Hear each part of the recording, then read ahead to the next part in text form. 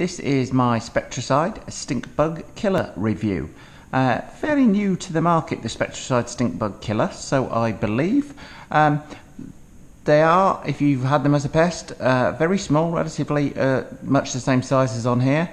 They're small, they're flat, which means they can creep through lots of nooks and crannies.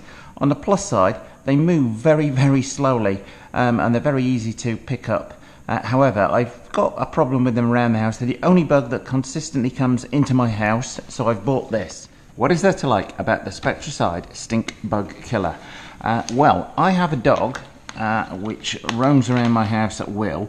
This doesn't say specifically it's pet friendly.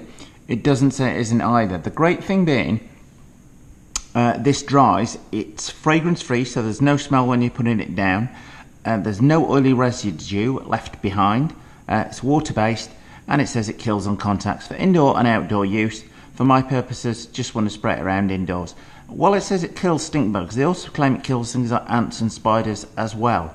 So okay, we've got our uh, application nozzle here, just simple squeeze to do. Now I'm guessing this pulls out in a big uh, long thread like this. And under here, okay, well, there's nothing there, so we're assuming the nozzle head is there.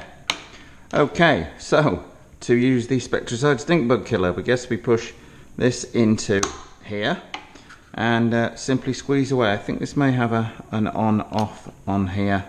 Uh, yeah, that's got the spray pattern on there. So uh, I'm just going to go and show you how we go about applying it. Well, okay, one of the uh, the things that they state is to spray it in any areas of nooks and crannies. Just let's get it pumped going. And there we go, just a few pumps and it's there. I'm just going to spray this liberally around the outside and through that grill. Uh, they also suggest spraying any nooks and crannies, so I'm going to spray down here uh, along there. The areas, uh, it's an obvious target here, is uh, to spray it just along under your door here, as anything that's going to crawl in likely point of entry will be under your door. Uh, you can liberally apply that around all your areas of skirting. As I said, this shouldn't leave any mess or residue behind. So, very simply put, that is how uh, you apply the uh, Spectracide Stink Bug Killer. Uh, question being, does it work? Only time will tell. However, the fact it doesn't smell, it doesn't leave any residue behind, big plus points, uh, I think, in its favour.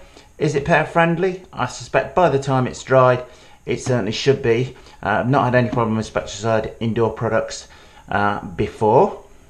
So, would I recommend buying this? Well, I'd certainly try it. As I say, I'm going to have to wait a little while, uh, see if my stink, bu stink bugs reappear. They tend to come in when it's hot and humid outside. Pouring with rain at the minute, uh, but that also can have a tendency to drive them inside.